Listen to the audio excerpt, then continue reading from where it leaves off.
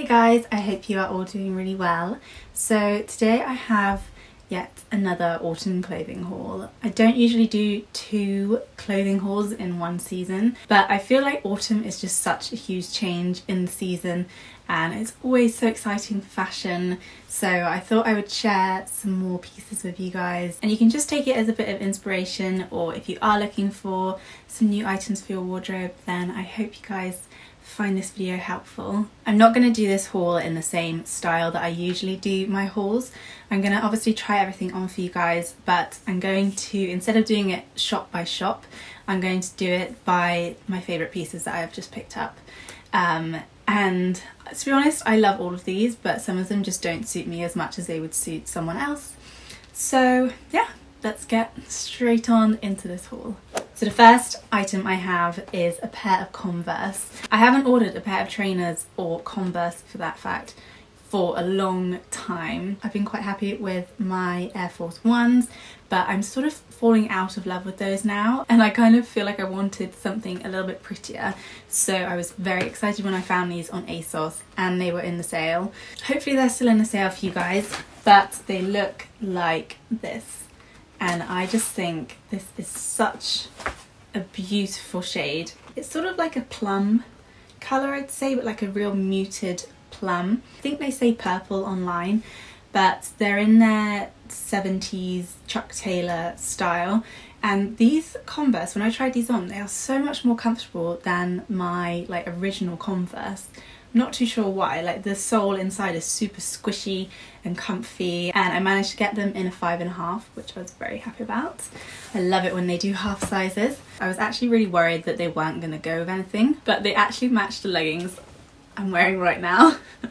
which I find funny and they match a few other things in this haul. So clearly I didn't have anything to worry about with this colour. I think it's going to be quite a popular colour this season. Next up I have a cardigan from H&M. I actually showed this one in my last haul but in a different shade and they've recently brought it out in this really gorgeous, I don't even know the words I would use to describe this colour. I'd say it's like a dark dusky pink maybe. Again it's in their wool alpaca blend which I am obsessed with and I've been really loving my other cardigan in the same colour.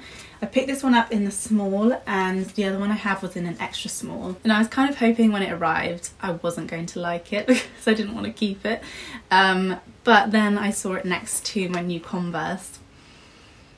I just can't resist a good matchy matchy knitwear and shoe. I also had a little browse on Zara Kids the other day because I actually have a knitted vest from Zara Kids from last year that I really love. And the biggest size I ordered was actually too big. So I tried ordering again from Zara Kids and I'm going to show you everything I bought in this video but only one thing actually fitted properly. I have pretty long arms which is often my problem with tops so obviously kids wear is not going to be long enough in the arms usually However, this polo neck was. So this is from Zara Kids and this is size 13 to 14 and this actually fits really nicely. The sleeves are plenty long enough and the only thing that I don't like as much is that it's quite like a boxy fit. It's not super fitted but I think I could probably take in the sides a little bit just to make it a little bit more fitted but it's in this super cozy waffle like fabric that's going to keep me nice and warm. And guys, guess what it matches? My Converse. I actually thought this would look really nice with this cardigan over the top. look at it like that. So that was the good thing I found from Zara Kids. So I'll show you the rest of the Zara Kids stuff at the end, the things that didn't work out quite so well. Um, but next up I have this amazing jacket from Mango. This style of velour faux fur jackets seem to be really in. And this one's just such a gorgeous colour. It looks really rich. So I picked this up in a size small and it actually has little buttons like usually on these coats they just have little hooks. But I like the fact that it actually has buttons. Um, so yeah I thought this was a really lovely jacket for autumn winter. Just a nice really easy jacket to style. Then something spurred me on to have a look on River Island. I'm not sure what it was. Probably an Instagram advert, let's face it. and I actually found a few things I liked. So the first one is this pair of trousers and I loved the waistband. It's got this real sort of Isabel Marant vibes going on with the waistband and then it's got two big tuck pleats and then it just goes down into these long trousers with a really nice turnover hem. Not many trousers actually have this sort of detailing at the bottom, they often just finish them off. Um, but it actually adds a really nice weight to this end of the trousers. The back's the only thing I don't like as much, it's just this sort of like elastic. I think it looks quite, like it just ruins it from really nice sleek to elastic, but I can look past that as the waistband is so beautiful. They're in a very interesting colour, like this colour could never ever go near my face. it would definitely have to be in trousers, but this could be really easily styled with a white long sleeve underneath and like a tight jumper or even with like a slouchy cardigan over the top. I think it would be a really nice pair of trousers to style up in autumn and winter. And also when you've got like really loose trousers like this you can put thermals underneath really easily or tights and they don't show. So that's another good thing with this because my legs get so cold in jeans or anything in the winter. So when I have items I can layer underneath is very good time. Also from River Island I found a pair of beautiful flared jeans. This is a sort of colour denim I think would go so nicely with this cardigan colour and they're a really good length on the leg. I used to actually be obsessed with River Island jeans. They do do very good jeans but they are quite expensive. So I just went for a size 8 regular and again the bottom of the trousers finished so nicely. I love a good thick turn up hem at the bottom of trousers, especially flares. Got a good amount of pockets for jeans. They're not super high-waisted, like on the website they looked a lot more high-waisted. Um, so that was a bit of a disappointment, but I can look past that because I don't really need these flares to be super high-waisted. Then while we're on the topic of denim, I've actually been on the hunt to find sort of like the perfect boiler suit. I don't actually own a denim boiler suit, I own dungarees, but I've always wanted a really nice boiler suit. So I have three in this haul and I'm going to decide which one I prefer the most. Um, so the first two are from Mango. This one is in a bit of a lighter denim compared to the other two. And this one fits so nicely. It's got poppers all the way down the front and then a tie in the middle and then it just goes into a straight leg at the bottom.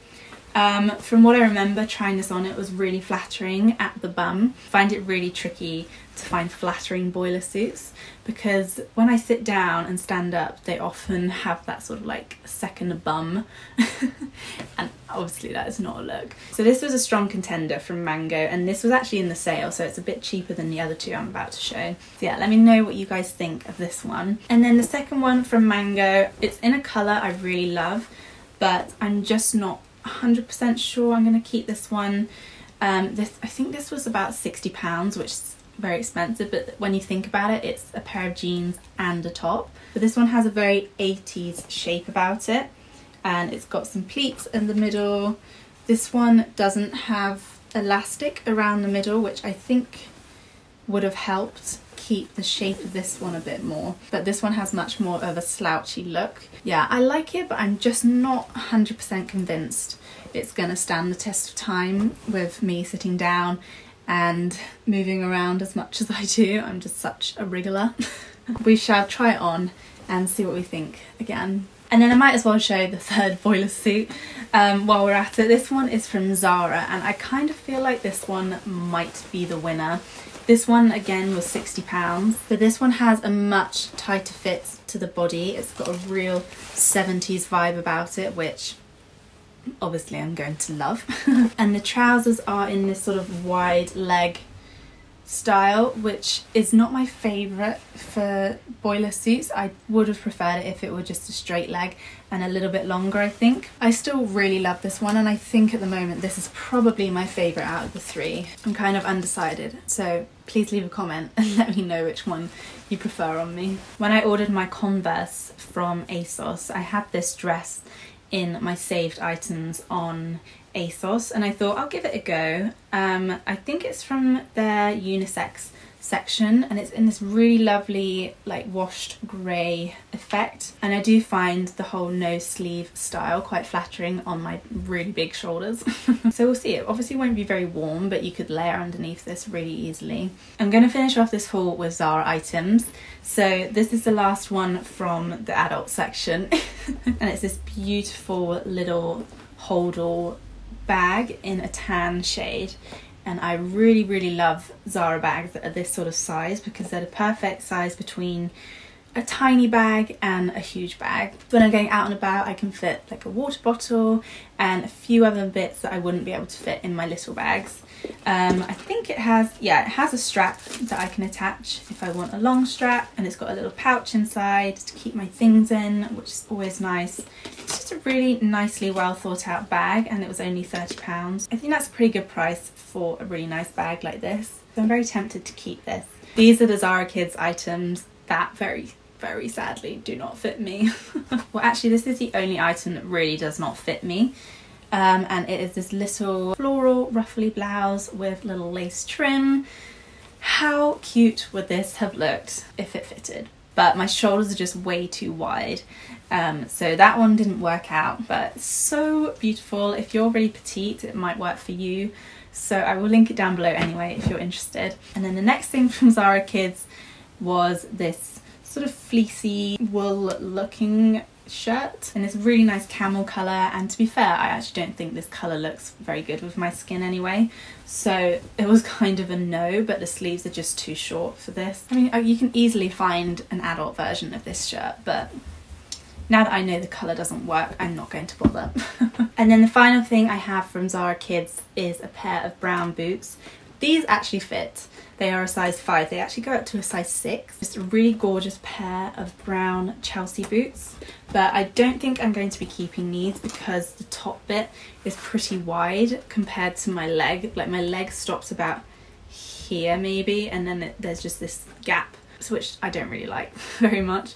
Um, which also surprises me because I'm like how can kids have chunkier legs than adults but I guess maybe I don't know. So yeah really sad that these are too wide at the top. So there we have it. Those are all of the new autumn finds I have found recently. Hope you guys enjoyed this. Let me know in the comments down below what you think your favorite item is. And yeah I will see you guys all in my next video. Bye